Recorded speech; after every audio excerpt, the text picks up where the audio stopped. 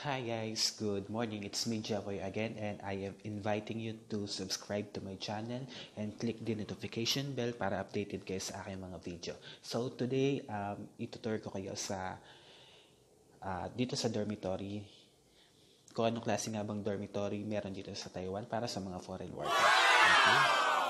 Okay, so mag-start tayo dito. Here. Ito yung tinatawag namin na swaka o swipe card. So, kailangan meron ka nito para makapasok ka. Itatap, pag nasa labas ka, itatap mo siya dyan sa, ano, parang sensor para makapasok ka. And then, you will put this here para sa mga ilaw.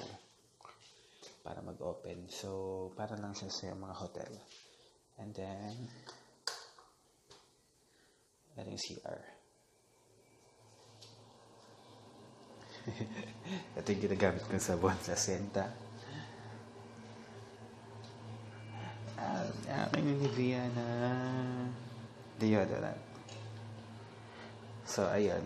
So, yung mga faucets naman dito is may mga cold water para pag araw din eh. Pag summer, at pwede rin siyang hot water pag winter naman.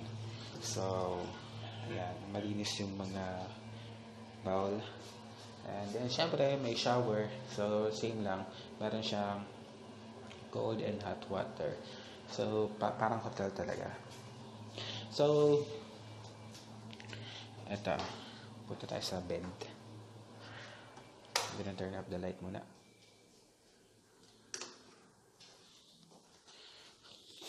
Sa higaan, ganito.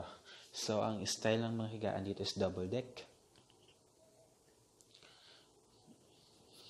Yan. Ito, made siya sa kahoy. And and pakal. So, ganito yung mag magagandang bed eh, kasi hindi siya mauga. So, kahit may umakyat dito, nasa taas mo, or kung malikot matulog yun nasa taas mo, hindi, hindi masyadong mauga yun sa baba. Ang gulo na gamit ko. Sa ako lang mag-isa dito eh. okay, so sa ganitong, kalimitan sa mga ganitong kalaking kwarto, may mga anim na taong naghahati. So, tatlong double deck na bed. Ayan. So, hindi lahat ng double deck ay ganito. Kahoy. Yung iba kasi bakal. Yun, pangit yung ganun yung mga bakal kasi mauga yon kapag ano eh, pag may umaakit sa taas mo, pag malikot yung nasa taas mo, mauga sa baba. Kaya minsan mahirap matulog. Tapos ito yung mga cabinet. So, mag-open ako ng isa. Empty pa yan. Yan. So, bawat isang ano tao, syempre may isang cabinet para sa ano privacy. So, ayan, pwede ka dito magsabit. Meron dito. Ito, pwede mo siyang lalagyan ng mga shoes. So, ikaw nang bahala mag ano, mag-assign ko ano, ano mga gamit yung gusto mo ilagay. And then, ito. Ayan. Pwede mo siyang lagyan ng padlock. Para kung sakali may mga importante kang gamit na ilalagay dyan. Pwede mo siyang, ano, halimbawa, for example, pera, tapos aalis ka. Pwede mo ilock. Di ba?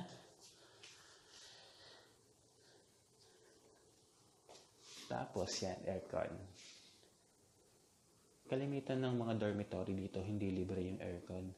So, yung iba, niloloadan, yung iba may mga metro, o yung iba naman may mga libre talaga. So, depende sa mga dormitory. Depende sa kung magkano rin yung binabayad nyo sa dormitory. Minsan kasi yung iba libre yung aircon, pero malaking bayad nila sa dorm. Iba naman, walang bayad yung aircon, pero, uh, I mean, may bayad yung aircon, nilaloadan or may meter, pero mas mura naman yung binabayaran nila sa mismong kwarto. As eto, Merong terrace dito. Tanan! May overlooking sa mga company. So, ayan. Pwede ka rin dito maglabas sa labas. Kaya lang pag winter, ang hirap maglaba naman dito. Siyempre, ang lamig-lamig. Like this month, month of January ngayon. Sobrang lamig. Pwede ka natin dyan magsampay. Ayan ka, may sampayan naman siya.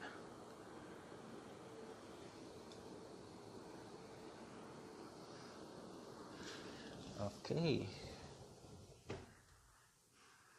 Okay guys, so inulit ko. Uh, ito ay example lang mang ng mga dormit ng isang dormitory dito sa Taiwan para sa mga foreign workers, especially sa mga Pilipino. At hindi lahat ganito ang setup. Kasi yung iba, merong like katulad dito, animan lang sa isang kwarto, merong meron mga waluhan, sampuan, minsan 12 sila sa isang kwarto. So depende sa size ng kwarto. Tapos yung pagdating sa CR naman, uh, yung iba, wala silang sariling CR sa loob mismo ng kwarto. Uh, merong ano, mm, kumbaga centralized. Sa, sa isang floor, halim sabihin natin sa isang floor, merong dalawa, tatlong CR para sa lahat na yon So, syempre, mas ideal yung ganitong room na may sarili, kanya-kanya kanyang CR, di ba? Kasi ang hirap kapag yung centralized yung CR nyo lahat gagamit. So, hindi alam kung sino sino maglilinis, sino nakatoka maglinis. So, ayun, uh, itong video na to ay ginawa ko para lang din magkaroon kayo ng idea kung ano nga ba yung lalo-lalo sa mga bago na gusto magtrabaho dito sa Taiwan, ano nga ba yung ano, mga pag stayan yung lugar dito. So, it's an idea lang para sa inyo.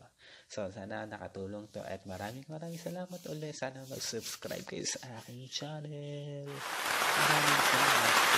Thank you.